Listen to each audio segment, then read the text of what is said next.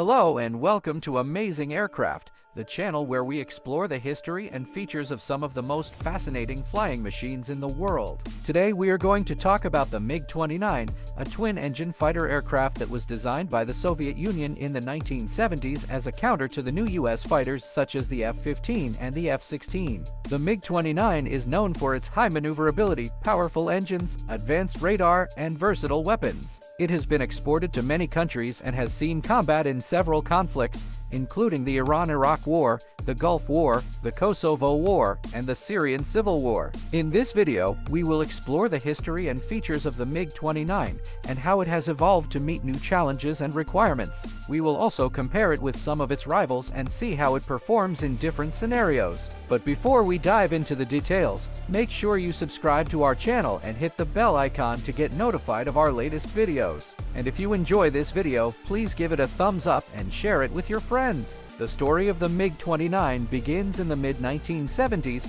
when the Soviet Union faced a serious challenge from the new generation of American fighters, such as the F-15 Eagle and the F-16 Fighting Falcon.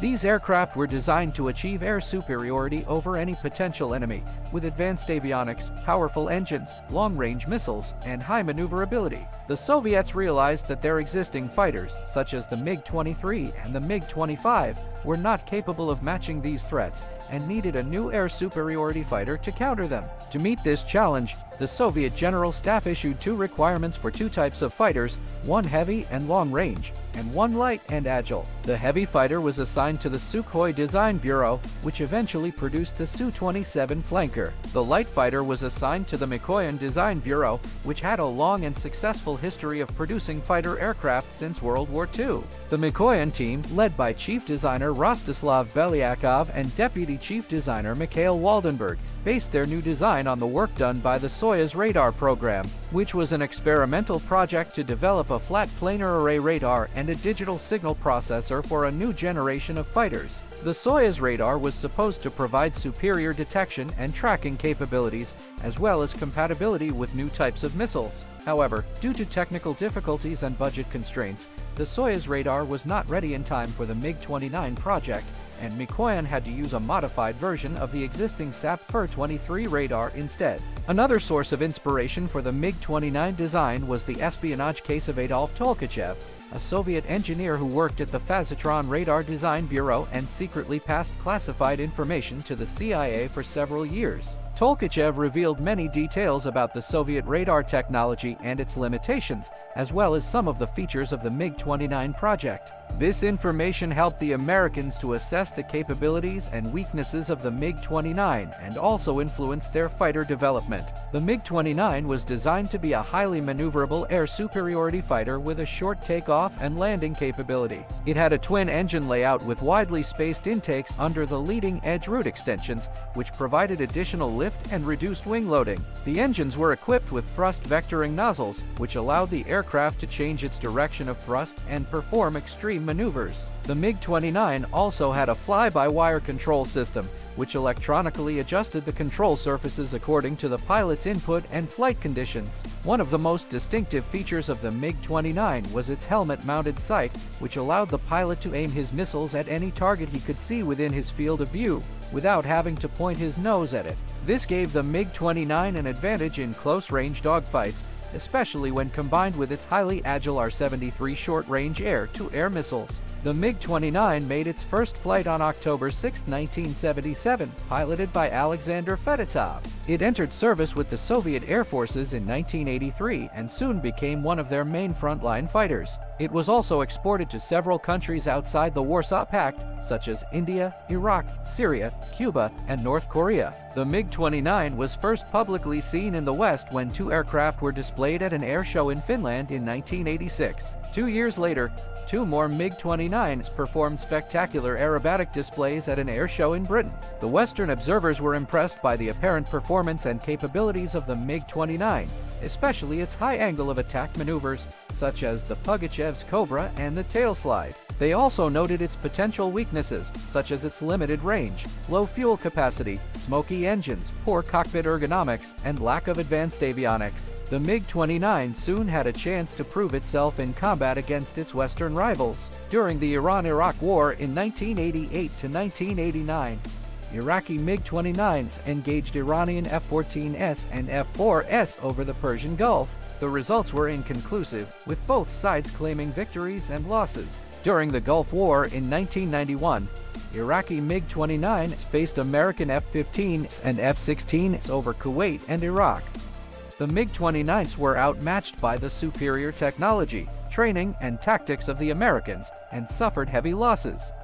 Five MiG-29s were shot down by F-15s, and another four were destroyed on the ground. One MiG-29 was captured intact by the U.S. forces. After the collapse of the Soviet Union in 1991, the MiG-29 continued to serve with the newly formed Russian Air Force, as well as with other former Soviet republics and allies. The MiG-29 also saw action in several regional conflicts, such as the Yugoslav Wars, the Eritrean-Ethiopian War, the Second Chechen War, the 2008 South Ossetia War, and the Syrian Civil War. In some cases, the MiG-29 faced its kind, as in the case of the 1999 Kargil War between India and Pakistan, or the 2020 Nagorno-Karabakh War between Armenia and Azerbaijan.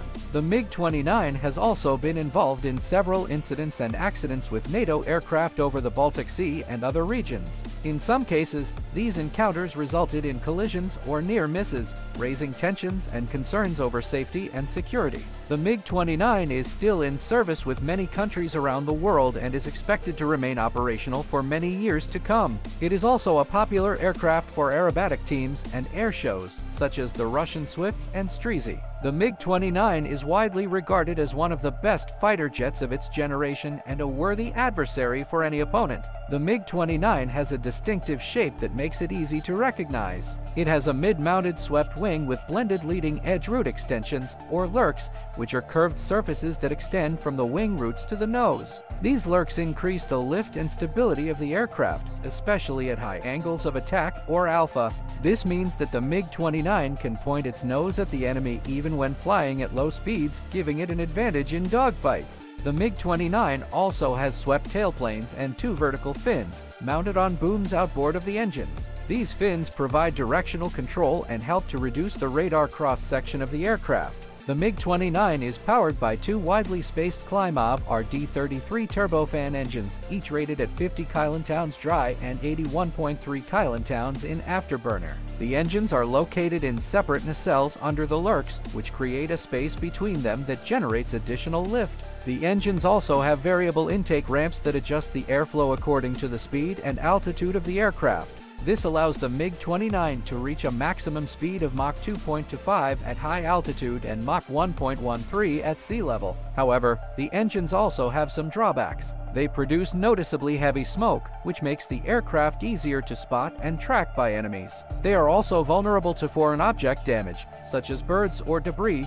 which can cause engine failure or fire. To prevent this, the main air inlet can be closed completely and the auxiliary air inlet on the upper fuselage can be used for takeoff, landing, and low-altitude flying. The MiG-29 has a sophisticated avionics suite that includes a Phazotron N019 Sapphire 29 radar fire control system, this system consists of a look-down, shoot-down coherent pulse Doppler radar and a digital computer. The radar can track up to 10 targets and engage up to 4 of them simultaneously with R-27 medium-range air-to-air missiles and R-73 short-range air-to-air missiles. The R-27 has a range of up to 130 kilometers and can be guided by semi-active radar homing or infrared homing. The R-73 has a range of up to 30 kilometers and can be guided by infrared homing or helmet-mounted sight. The HMS allows the pilot to lock on any target that he can see within the missile field of view, including those almost 45 degrees off bore sight. However, the radar system also has some limitations.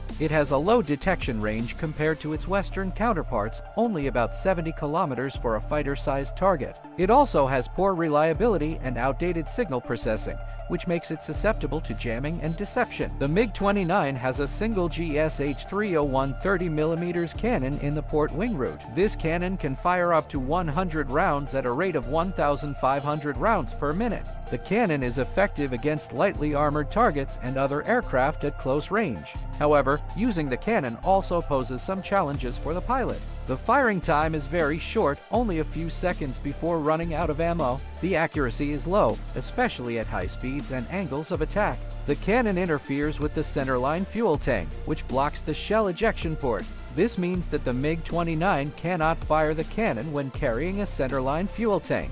The MiG-29 has a ferry range of 1,500 kilometers without external fuel tanks and 2,100 kilometers with external tanks. The internal fuel capacity is 4,365 liters distributed between six internal fuel tanks, four in the fuselage and one in each wing. For longer flights, this can be supplemented by a 1,500 liters centerline drop tank and two 1,150 liters underwing drop tanks. The MiG-29 can also be equipped with a port-side in-flight refueling probe, which allows it to receive fuel from a tanker aircraft and extend its endurance. The MiG-29 has a service ceiling of 18,000 meters and a rate of climb of 330 meters per second. The MiG-29 has a total of six hardpoints for carrying weapons and other external stores. The inboard pylons can carry either a fuel tank, an R-27 missile, or unguided bombs or rockets. The outer pylons usually carry R-73 missiles, although some users still use the older R-60 missiles. The MiG-29 can also carry a single nuclear bomb on the port inboard station.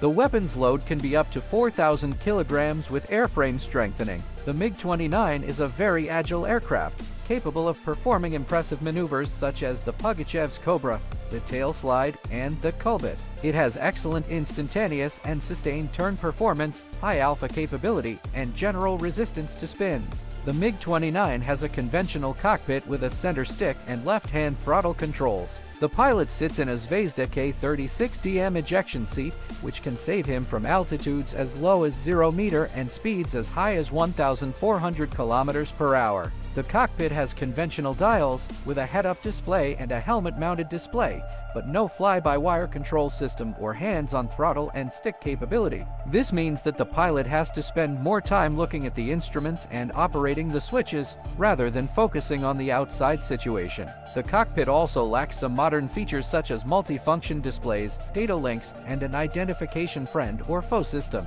However, the MiG-29 does have a high-mounted bubble canopy that provides good visibility in all directions. The MiG-29 entered service with the Soviet Air Forces in 19 1983 and was exported to many countries around the world. It saw combat in several conflicts, such as the Iran-Iraq War, the Gulf War, the Kosovo War, the Syrian Civil War, and the 2022 Russian invasion of Ukraine. It also participated in many joint exercises and air shows with NATO and other countries. The MiG-29 was born in the 1970s when the Soviet Union needed a new air superiority fighter to match the advanced U.S. designs. The MiG-29 was based on the requirements of the PFI and LPFI programs, which called for a high-performance, maneuverable, and multi-role fighter. The prototype flew in 1977 and the first production model, the MiG-29A, entered service in 1983. The MiG-29A had a swept wing with blended LERX, two Klimov RD-33 turbofan engines with variable intake ramps, a Phazotron NO-19 radar with R-27 and R-73 missiles, and a GSH-31 cannon. The MiG-29A was very agile and capable of performing impressive maneuvers, such as the Pugachev's Cobra and the tail slide. However, it also had some drawbacks such as low fuel capacity, heavy smoke emission, poor radar reliability, and limited avionics. The MiG-29 has been upgraded and modified over the years to improve its capabilities and performance. Some of the most advanced variants are the MiG-29 MM2, the MiG-29K, and the MiG-35. The MiG-29A was soon followed by improved versions, such as the MiG-29S, which had increased fuel capacity, a dorsal hump with a jamming system, and an ability to fire nuclear weapons. The MiG-29S also had a modified radar system, which was more resistant to jamming and deception. However, this radar system was still inferior to its Western counterparts in terms of detection range and signal processing. The MiG-29S was further developed into the MiG-29M, which had a completely new airframe with more composite materials, reducing weight and increasing strength. The MiG-29M also had improved engines with more thrust and less smoke, a fly-by-wire control system with HOTAS capability, capability, a glass cockpit with MFDs and data link, and a Zhuk radar with R-77 missiles. The MiG-29M was a true multi-role fighter, capable of performing air-to-air and air-to-ground missions with various weapons and sensors. The MiG-29M also served as the basis for the MiG-29K, which was a carrier-based variant for the Soviet Navy. The MiG-29K had folding wings, strengthened landing gear, an arrestor hook, and a refueling probe. The MiG-29K also had improved avionics and weapons systems, such as an IRST sensor, a helmet-mounted sight, and anti-ship missiles. The MiG-29K was intended to operate from the Admiral Kuznetsov aircraft carrier, but only a few prototypes were built before the collapse of the Soviet Union. The collapse of the Soviet Union also affected the production and export of the MiG-29. Many former Soviet republics inherited some MiG-29s from their predecessor state, but they lacked the resources and infrastructure to maintain them properly. Some of them sold or donated their MiG-29s to other countries such as Germany, Poland, India, Peru, Serbia, and Iraq. Some of these countries also upgraded their MiG-29s with foreign or domestic avionics and subsystems, such as Israel, India, Poland, Serbia, and Ukraine. The MiG-29 also saw combat in several conflicts around the world, such as the Iran-Iraq War, where it engaged Iranian F-14s and F-4s, the Gulf War, where it was shot down by US F-15s, the Kosovo War, where it was used for ground attacks, and the Syrian Civil War, where it has bombed rebel positions. The MiG-29 has also participated in many joint exercises and air shows with NATO and other countries. The MiG-29 has proven to be a formidable adversary in close-range dogfights, but also has some weaknesses in long-range engagements and electronic warfare. The latest upgraded aircraft offered by Mikoyan is the MiG-35, which is based on the MiG-29 M2, a two-seat version of the MiG-29M.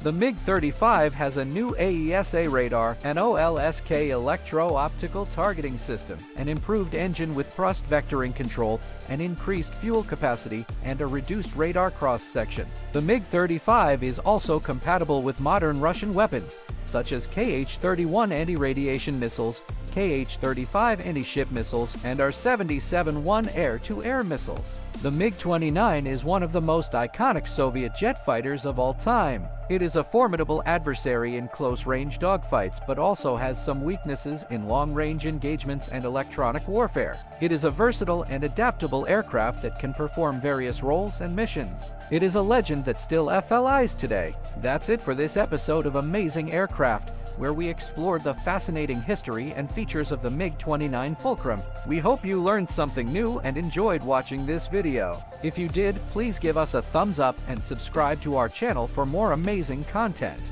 And don't forget to leave your comments and questions below. We would love to hear from you. Thank you for watching and see you next time.